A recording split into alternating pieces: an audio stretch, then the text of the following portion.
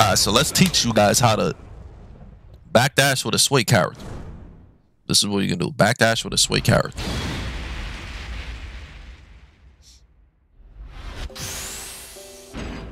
Alright.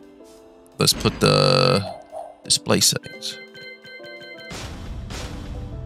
Okay.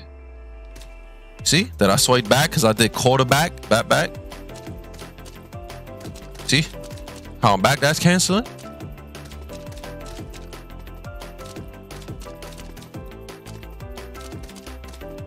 I'm gonna cheat you.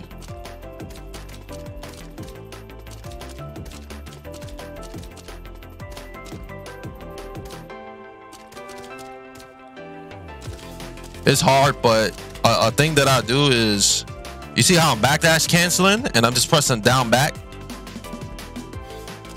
instead of doing quarter forward. When you backdash cancel, make sure you don't press quarter forward. You see I'm doing quarterback, like like doing a tatsu, and it's messing up. But if you just do back, back, down, back, back, back, down, back, back, back, down, back. See? See I'm doing a crispy? It's a bit difficult to do it the way I'm doing it though. You see the notation, right? Just back, down, back. But make sure you don't do quarter forward. See? See? See? See how clean?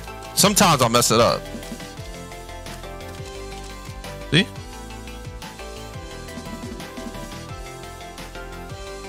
So make sure you don't do quarterback.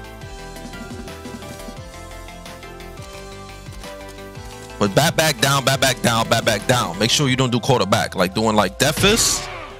Make sure you don't do that. Make sure you don't slide your fingers back. You know, slide your fingers. Just press it. Press it. No sliding. Press it. No sliding. You know what I'm talking about? Sliding, right?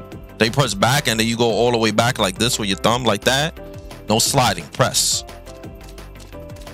If you press, you do a clean backdash with no sliding.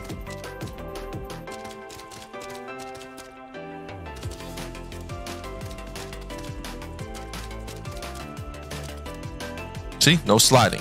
Just press. Press fast. Y'all understand what I'm saying, right?